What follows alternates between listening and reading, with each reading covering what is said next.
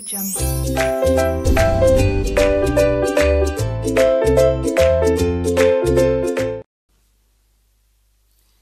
Friends कैसे हैं आप लोग?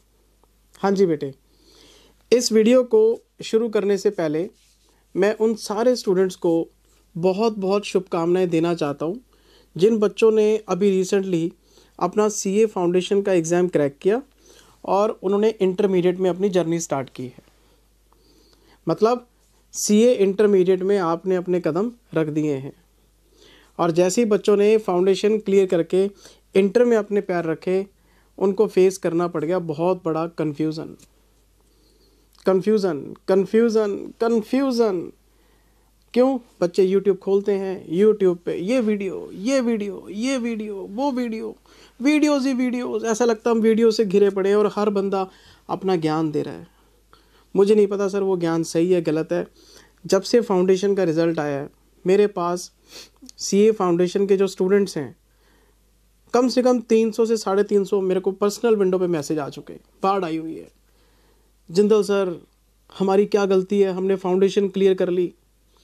हमारा नवंबर 23 में एग्ज़ाम है। कोई बच्चा कह रहा है, मैं एक ग्रुप देना चाहता हूँ। कोई कहता है, मैं दो ग्रुप देना चाहता हूँ। सर, हमारा क्या कसूर है बताओ? और बच्चे ने तो मुझे लंबा चौड़ा मैसेज लिख के भेजा। बच्चे ने अपनी प्रॉब्लम शेयर की और जेनुअन लगी मुझे। बच्चा कह रहा है, जी मैंने कहीं यूट्यूब से देखा कि नवंबर 23 के लिए न्यू स्कीम आएगी। मैंने पढ़ाई शुरू नहीं करी, मैं वेट कर रहा हूँ। और जिंदल साहब, मेरे मन में ये थाट्स आ रहे हैं कि अगर नवंबर 23 के लिए न्यू कोर्स नहीं आया तो मेरे पास तो ऑलरेडी टाइम कम है। नौ महीने का टाइम होता है हमारे पास तो। वो हमने टाइम अपना ख़राब कर दिया न्यू कोर्स आया नहीं। हम तो पुराने सिलेबस में भी पेपर देने लायक नहीं रहेंगे। जब टाइम ही नहीं बचेगा तो तैयारी कैसे करेंगे? और फिर सर, एक थॉट और आता है कि अगर हमने ओल्ड स्कीम के अंदर अपनी तैयारी शुरू कर ली और महीने, दो महीने बाद न्यू कोर्स आ गया तो जो हमने पढ़ा वो बेकार हो जाएगा। मतलब हमें तो ये कन्फ्यूज़न में है कि ओल्ड में पढ़ें न्यू में पढ़ें, क्या करें सर? कुछ तो मार्गदर्शन करो। तो मैं उस चीज़ के लिए ये वीडियो शूट कर रहा हूँ बेटे। मेरा इस वीडियो को शूट करने का कोई भी पर्पज़ नहीं है कि आप इसको लाइक करें सब्सक्राइब करें, ये करें, वो करें। मेरे, आपके लिए बना रहा हूँ वीडियो जितने बच्चे देख पाएँगे, हो सकता है उनको उन- इस चीज़ का फ़ायदा पहुँचे। मेरा और कोई मकसद नहीं, आप बच्चों को पता है, मैं यूट्यूब पे एक्टिव हुई नहीं। मैं यूट्यूब के ऊपर वीडियोस बनाता ही नहीं। मैं तो सुबह शाम रिकॉर्डिंग और दिन में डाउट्स यही मेरा दिन का पैटर्न है।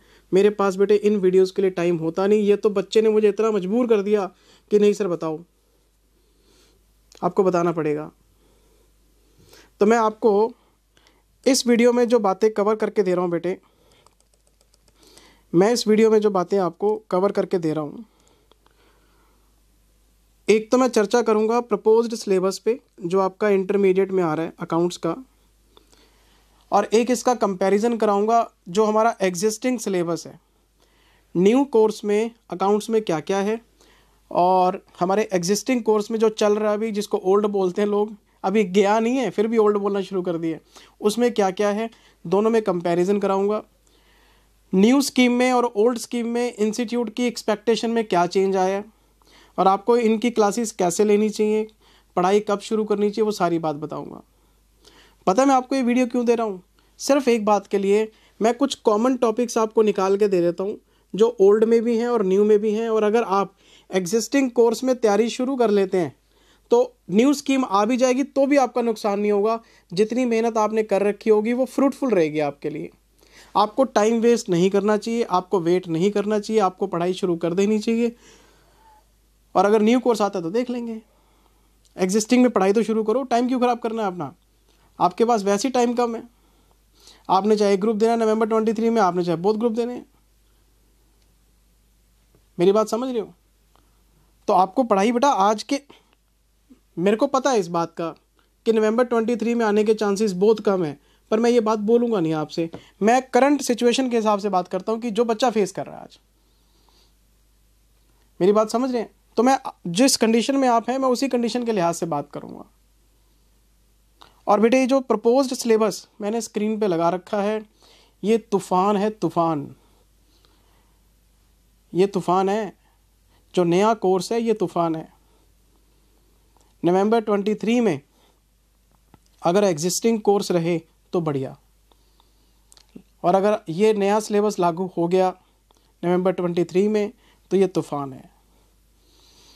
उसका रीज़न सिर्फ़ ये है कि जिसको कभी मज़ाक समझा जाता था, आज आज आज आज 65 परसेंट की वेटेज लेके बैठा है वो।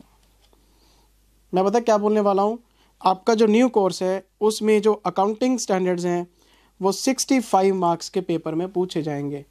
इन्होंने नए सिलेबस में गिनती के चार या पाँच चैप्टर रखे हैं, बाकी सारे ए एस हैं अकाउंटिंग स्टैंडर्ड वन से लेके अकाउंटिंग स्टैंडर्ड ट्वेंटी नाइन तक सारे के सारे अकाउंटिंग स्टैंडर्ड आपके सिलेबस में डाल दिए एक तो अकाउंटिंग स्टैंडर्ड सिक्स और एक अकाउंटिंग स्टैंडर्ड एट ये दो ए एस हैं जो परमानेंटली काफ़ी पहले डिलीट हो चुके हैं विड्रॉ हो चुके हैं।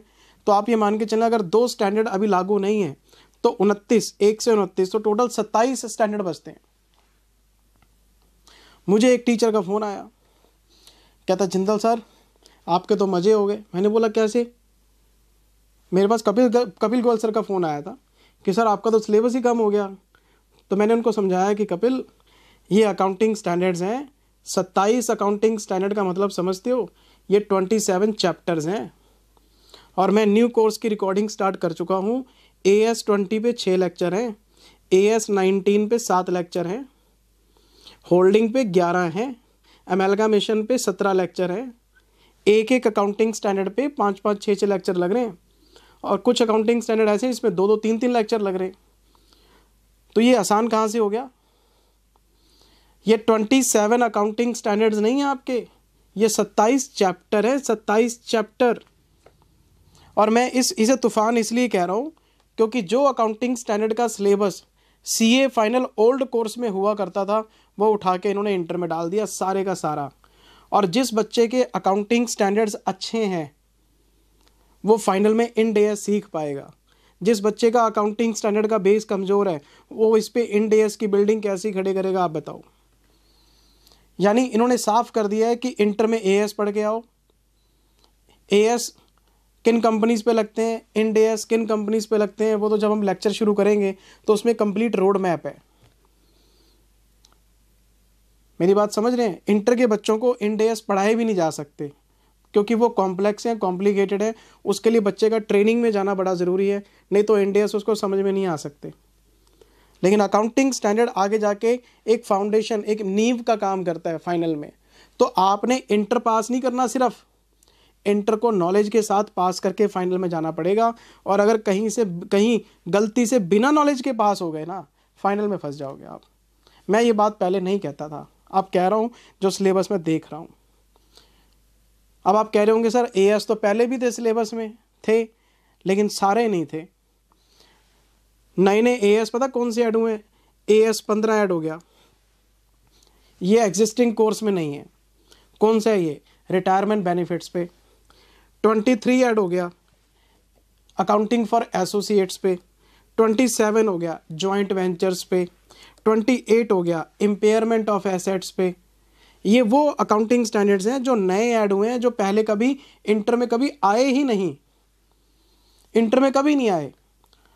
और जो इंटर में एग्जिस्टिंग कोर्स है हमारा अकाउंटिंग स्टैंडर्ड्स का, उसमें तो 20 नंबर का एक क्वेश्चन आता है, पहले वाला क्वेश्चन अब इसकी वेटेज होगी सिक्सटी फाइव मार्क्स की, fifty five to sixty five. सारा पेपर तो ये इसमें से आना है। तो अकाउंटिंग स्टैंडर्ड्स को स्टडी करने की अप्रोच बदलनी पड़ेगी। और मैं यहाँ पे सिर्फ़ एक एडवाइस बच्चों को दे रहा हूँ, सिर्फ़ एक। सिंगल एडवाइस कहीं से भी पढ़ो। जहाँ से आपके फ्रेंड का अच्छा फीडबैक आपको मिलता है, जहाँ पे आपको सेटिस्फेक्शन मिलती है, जहाँ मज़ा आए वहाँ पढ़ो, कोई दिक्कत वाली बात नहीं। लेकिन पढ़ना उस टीचर से जो सीए फाइनल को ऑलरेडी पढ़ा रहा हो।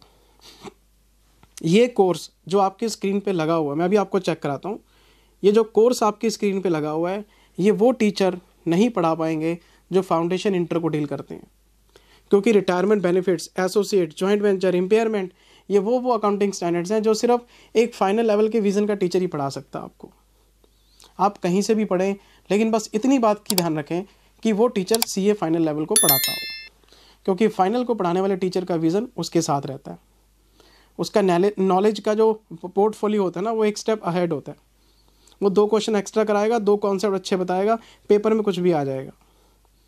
और मैं देख पा रहा हूँ कि अगर सारे के सारे ए एस आपके सिलेबस में आ रहे हैं तो C A final old course के क्वेश्चन आपके पेपर में आएँगे। अकाउंटिंग स्टैंडर्ड के क्वेश्चन सी ए फाइनल के कोर्स में से डालेंगे, मैं आपको आज बता रहा हूँ। ये बात मेरी याद रखना, जब आने शुरू हो जाएँगे और मैं पेपर पे रिव्यू डालूँगा, आप देख लेना कि ये क्वेश्चन जी फाइनल के इस एग्ज़ाम में से आया। ये पहले यहाँ पूछा गया था, ये उसके आरटीपी का, ये एमटीपी का। हमने पढ़ाया फाइनल हमें पता है ये सारे ट्रैक का। तो एक तो बेटे इन्होंने एक से लेके उनतीस तक, दो छोड़ दिए तो टोटल सत्ताईस अकाउंटिंग स्टैंडर्ड आपके सिलेबस में डाल दिए पहले इतने नहीं थे, ये चार स्टैंडर्ड तो इन्होंने नहीं डाल दिए अपने आप में खतरनाक है ये। एक और बात, अगर मैं चैप्टर्स की बात करूँ, ये तो देखो लाइन लगा के लाइन लगा के। अगर मैं चैप्टर्स की बात करूँ तो गिनती के पाँच चैप्टर आपको पढ़ने हैं, बस। पहला कंपनी फाइनल अकाउंट जिसमें कंपनी की balance sheet P and L बनाना सीखेंगे विद नोट्स टू अकाउंट्स और वो शेड्यूल थ्री की गाइडेंस में बनेगा। Number two cash flow statement cash flow statement वैसे भी अकाउंटिंग स्टैंडर्ड थ्री के हिसाब से बनती है। वो ए एस में कवर हो गया। वो ए एस भी है और चैप्टर भी है। तीसरा, आपका branch accounts including foreign branches और फॉरेन ब्रांच में ए एस इलेवन का इन्वॉल्वमेंट रहेगा। और एक आपका है एमेलगामेशन जिसको रिकन्स्ट्रक्शन ऑफ़ कंपनीज़ बोल देते हैं। अब रिकन्स्ट्रक्शन में मेरे को सिलेबस खोल के देखना पड़ेगा कि एमेलगामेशन इंटरनल रिकन्स्ट्रक्शन दोनों हैं या सिर्फ़ एमेलगामेशन ही डाला है इन्होंने। दोनों भी हो सकते हैं। ये स्टडी मेट तो जब स्टडी मेट आएगा तब देखेंगे।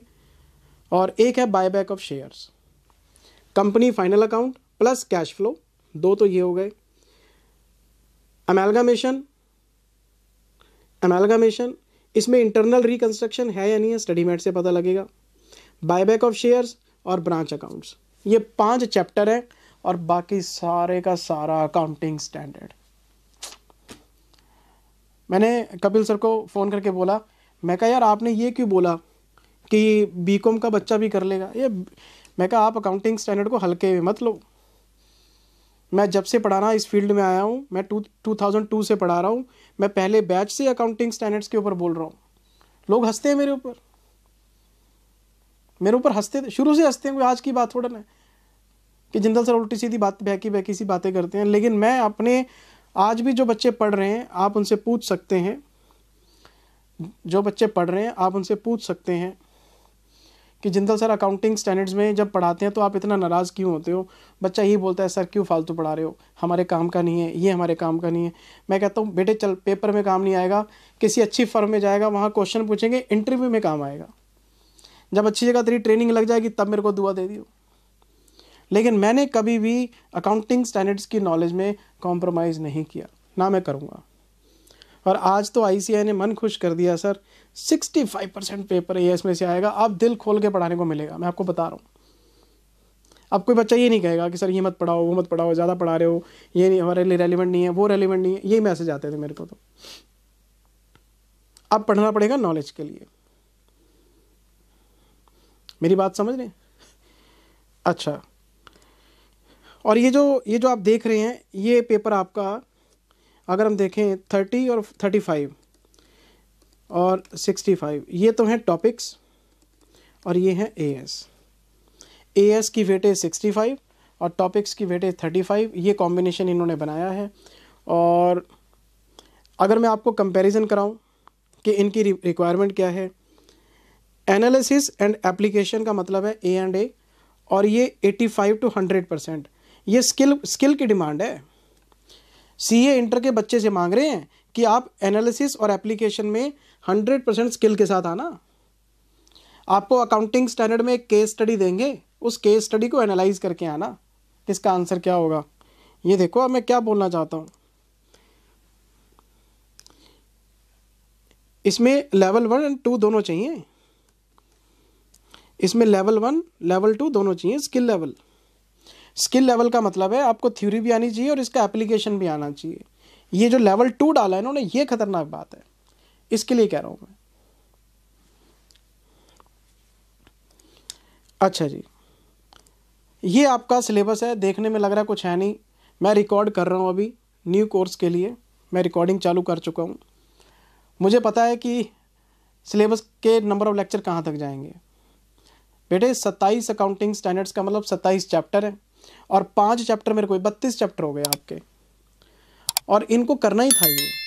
क्योंकि पहले अकाउंट्स दो जगह था ग्रुप वन में था ग्रुप टू में था। अब दो पेपर्स को मिक्स करके एक बनाया है। तो इनको चुनाव करना पड़ा कि किस टॉपिक को रखना और किसको हटाना है। क्योंकि ऐसा तो हो नहीं सकता कि पूरा सिलेबस मर्ज कर देंगे। तो फिर जो पेपर 200 नंबर का वो 100 में कैसे पूछ सकते हैं आपसे? तो इन्होंने कुछ चैप्टर्स को हटा दिया। ये देखो, मैं आपको बताना चाहता हूँ। ये अकाउंटिंग स्टैंडर्ड्स तो पहले भी थे, ये सारे के सारे इन्होंने यहाँ से उठाए। चल भाई न्यू कोर्स में ले गए। ये ईसॉप्स का चैप्टर हट गया। ESOPs E S P P इसको बोलते थे हम शेयर बेस्ड पेमेंट्स ये हट गया। बायबैक अभी रख लिया इन्होंने। बायबैक है अभी। अच्छा जी, फिर एमेलगामेशन रख लिया। ये काट दिया। डिफरेंशियल लाइट्स वाला चैप्टर काट दिया इन्होंने। कहीं नज़र ही नहीं आया। एमेलगामेशन है अभी। लिक्विडेशन हटा दिया। बैंकिंग हटा दिया। एनबीएफसी हटा दिया। कंसोलिडेशन है अभी। क्यों? इस पे लगता है ए एस ट्वेंटी वन और ये प्रैक्टिकल चैप्टर भी है और ए एस भी है।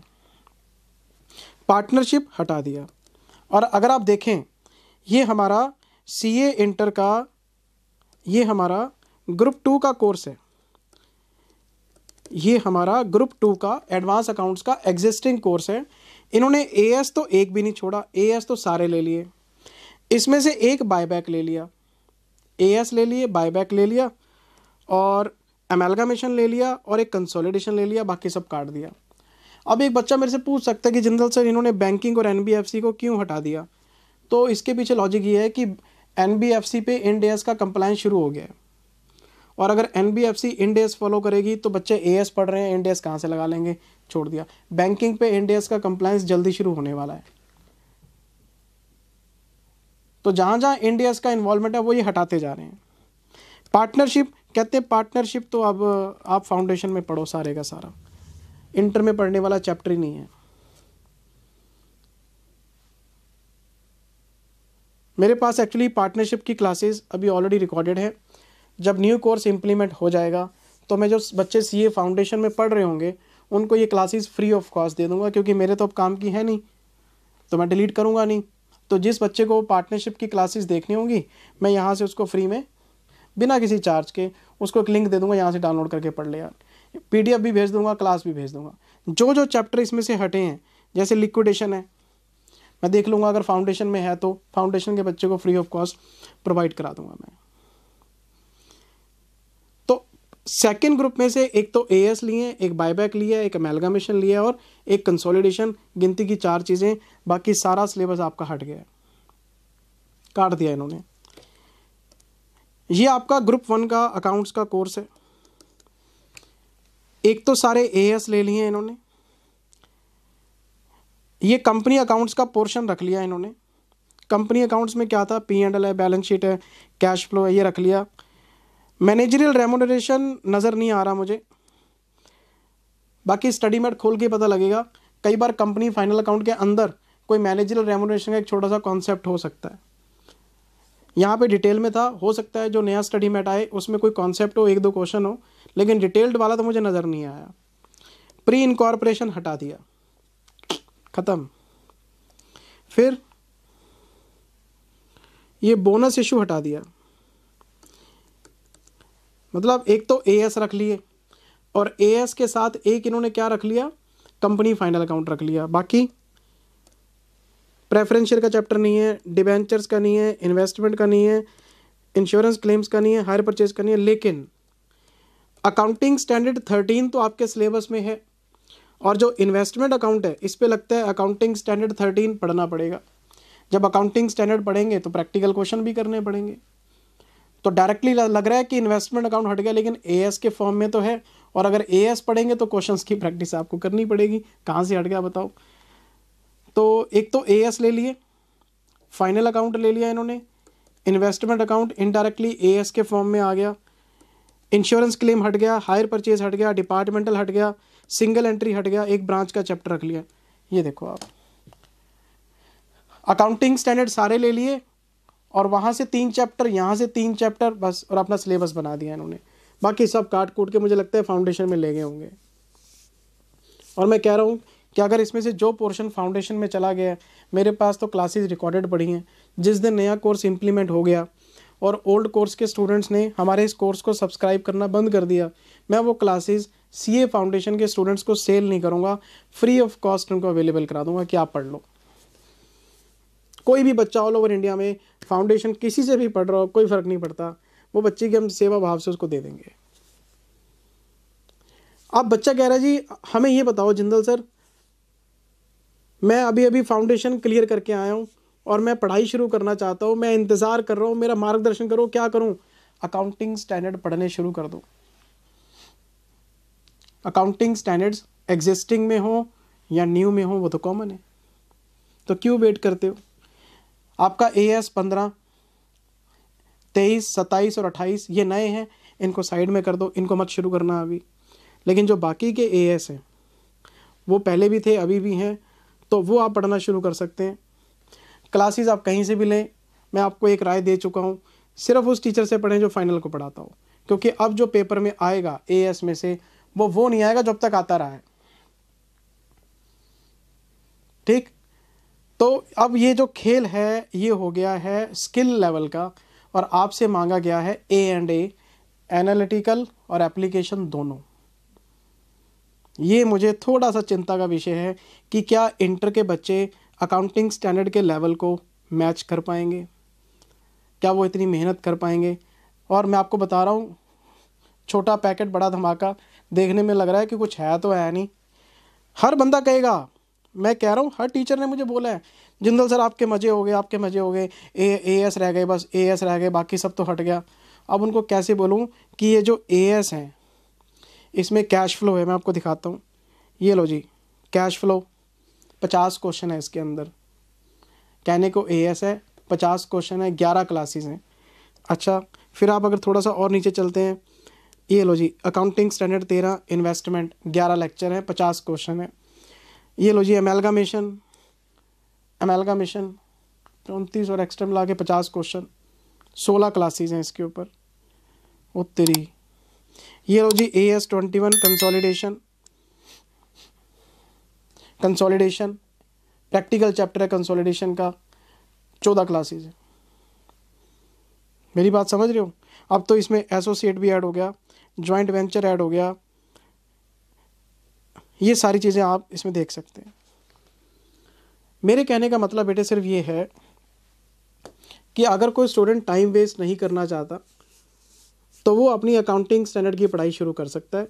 ए एस आपके कॉमन है। अब एक बच्चे ने फिर मेरे से डाउट पूछा व्हाट्सएप के ऊपर कि जिंदल सर, अगर मैं आपसे क्लासेस ले लूँ, मैं चॉइस है बेटे आपकी। जिंदल सर, अगर मैं आपसे क्लास ले लूँ नवंबर ट्वेंटी थ्री के लिए अच्छा और मैं पढ़ाई शुरू कर लूँ। ठीक है? और सर, एक दो महीने के बाद न्यू कोर्स आ गया। तो क्या आप हमसे दोबारा फ़ीस चार्ज करेंगे?